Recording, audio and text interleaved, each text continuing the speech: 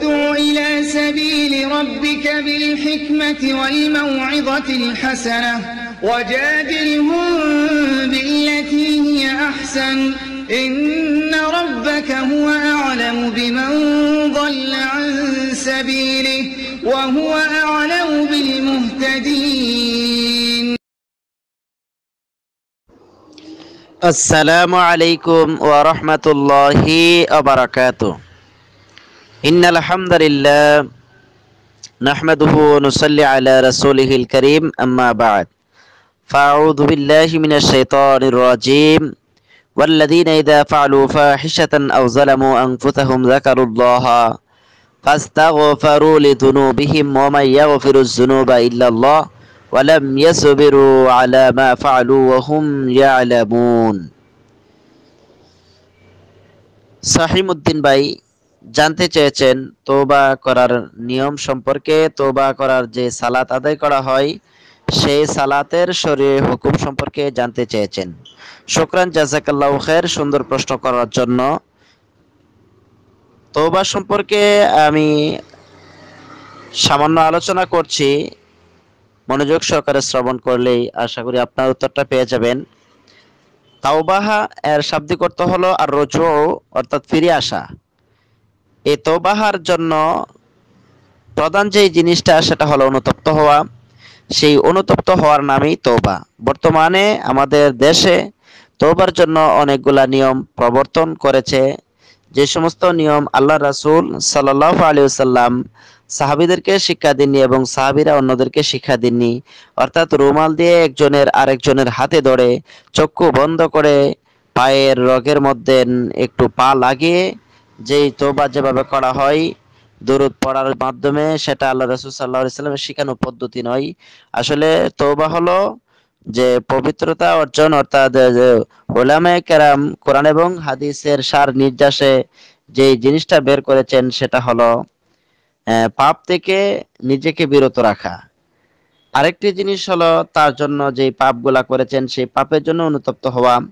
এবং যেই কাজ করেছেন যে পাপ করেছেন, সেই পাপে আর কোনো সময় লিপ্ত হবেন না বলে আল্লাহ সুবাহান ও তালার কাছে দৃঢ় সংকল্প করা এরই নাম হলো তোবা এবং তোবা হলো অনুতপ্ত হওয়ার নামই হলো তোবা হাদিসটা আছে মুস্তাদি আহমদ ইবনে মাজা সহিয়াল জামে, হাদিস ছয় হাজার আটশত দুই। এবং আল্লাহ রাসুল সাল্লাহ আলী ওসাল্লাম মুসলিমের এক হাদিসে বর্ণনা করেন আল্লাহ সুবাহান ও তালা হাদিসে কুদুসিতে বলেন, ইয়া ইবাদি, হে আমার বন্দা সকল, ইন্নাকুম তুখতিউনা বিল্লাইলি ওয়ান নাহারি, আনা আগফিরুজ যুনুবা। তোমরা দিনে এবং রাতে পাপ করো, আর আমি সেই পাপ ক্ষমা করি। ফাস্তাগফিরুল ফাস্তাগফিরুলি তোমরা আমার কাছে ক্ষমা চাও, আগফির লাকুম, আমি তোমাদেরকে ক্ষমা করে দিব। রাহু মুসলিম। এই হাদিসটা মুসলিমের বর্ণনাতে হাদিসে কুদসিতে এনেছেন, এটা দিয়ে কথাই বোঝাচ্ছেন যে রাতে দিনে আমাদের অনেক পাপ হয়ে যায়, অনেক গুণা হয়ে যায়।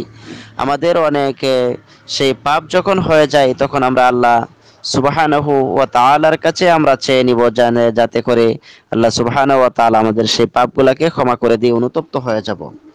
আর অনুতপ্ত হওয়ার নামেই নামই হলো তোবা কারণ পবিত্রতা অর্জন করে তোবার জন্য আপনাকে যা করতে হবে, যে আপনি প্রথমে পবিত্রতা অর্জন করবেন সালাদ প্রতিষ্ঠা করবেন, বেশি বেশি করে ন্যাক আমল করবেন, সেটাই হলো আপনার তোবা সূরা আলী ইমরান, আয়াত নং 135 এ আল্লাহ সুবহানাহু ওয়া তাআলা বলেন, ওয়াল্লাযীনা ইযা ফাআলু ফাহিশাতান আও যালামু আনফুসাহুম যাকারুল্লাহ ফাস্তাগফিরু লিযুনুবিহিম তারা যেন তাদের গুনাহের জন্য আল্লাহ তাআলার কাছে তওবা করেন, ওয়া মা যুনুবা ইল্লাল্লাহ আল্লাহ সুবাহান তাআলা তাদের সেই গুনাহসমূহকে আল্লাহ সুবাহান তালা ক্ষমা করে দিবেন।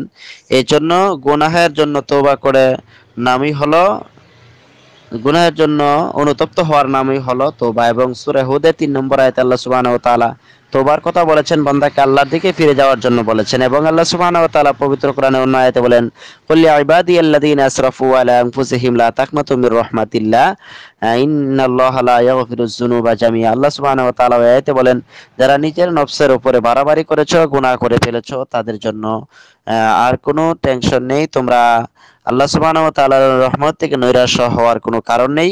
আল্লাহ সুবহানাহু ওয়া তাআলা অবশ্যই গুণাসমূহকে ক্ষমা করে দিবেন। এই জন্য আল্লাহ তাকনা তুমি রহমাতিল্লাহ।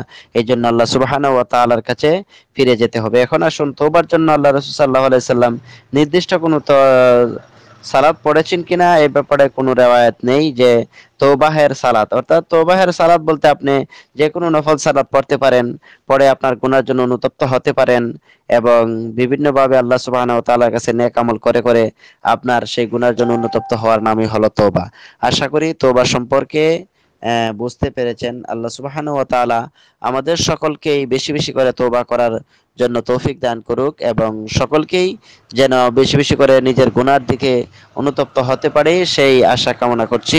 আসসালামু আলাইকুম ওয়া রাহমাতুল্লাহ।